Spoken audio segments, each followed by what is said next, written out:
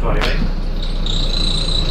Now I was told that the guy that invented the crossword, he's buried in here. The six graves are very back there behind a big tree. You see it? Just count the graves, three down, four across. You can stop looking now guys, gotcha. We're going to go up here around to the right, you'll see the home of the Dean of St. Patrick's. There's a red brick building on the right hand side as we turn. It's where the Dean lives.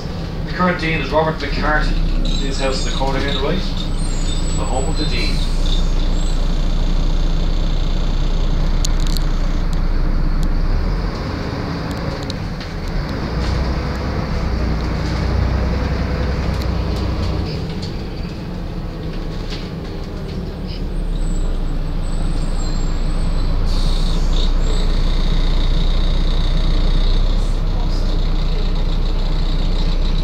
Most famous dean of St. Patrick's man by the name of Jonathan Swift.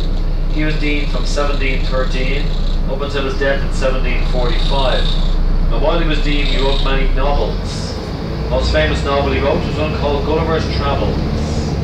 Was Jonathan Swift, the most famous dean of St. Patrick's. Jonathan Swift, in fact, is the only dean to be actually buried inside the cathedral itself. We're going to turn right back up past St. Patrick's again. You take a photo at a different angle. We head back up towards Christchurch Cathedral also.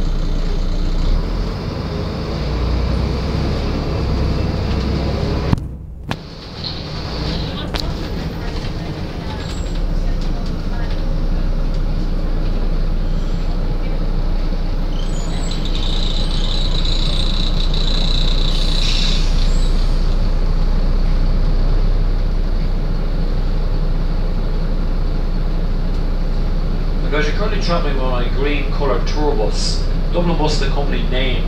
We've recently painted all the buses a full green colour. Now you may have seen some yellow or red tour buses going around the city. But guys, do not get on the yellow or red tour buses because these are crap. As it says here in the script anyway. No, I shouldn't really say that, should I? That's a different company, red and yellow. Don't tell them I said that. I'm sure they're fine. It's just that the green bus are more like country buses. We run more frequently throughout the day, run later in the evening. Dublin Bus, the Green Live Bus Company. When in Ireland, go green.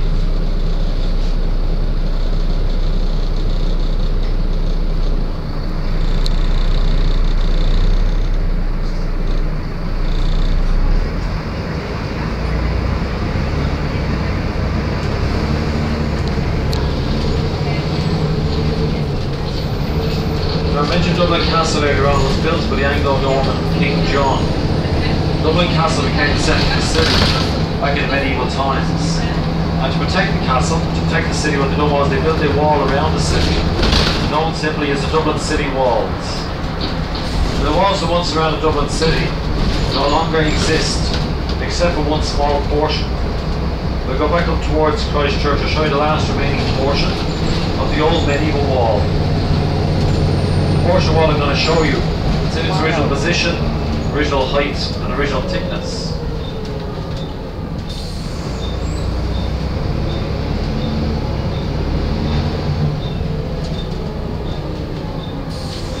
I'll show you that medieval wall shortly. Before we see the wall, just up here on the right hand side, you'll see St. Audoen's Church. It dates back to the 12th century. And the old medieval wall once went down behind the church. There's down the right, St. Audoen's. The actual last portion of the wall still standing today is on our left-hand side. In fact, if you look slightly behind you on the left, you see the old wall? That is now slightly behind you. See it on the left? Pretty big. Can you imagine that wall going around the city? Let's say we've just come through the walls, so in the part of Dublin, outside the old city known as the Liberties area. This area gets the name Liberties from the medieval times. Because basically, the people living outside the walls, they were not under the rules of the governors of the city. They did not pay the taxes of the city, and they could trade as freely as they wished.